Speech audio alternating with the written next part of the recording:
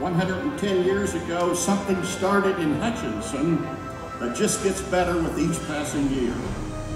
On September 13, 1913, a group of hardy pioneers met near this spot to open the first what was called official Kansas State Fair.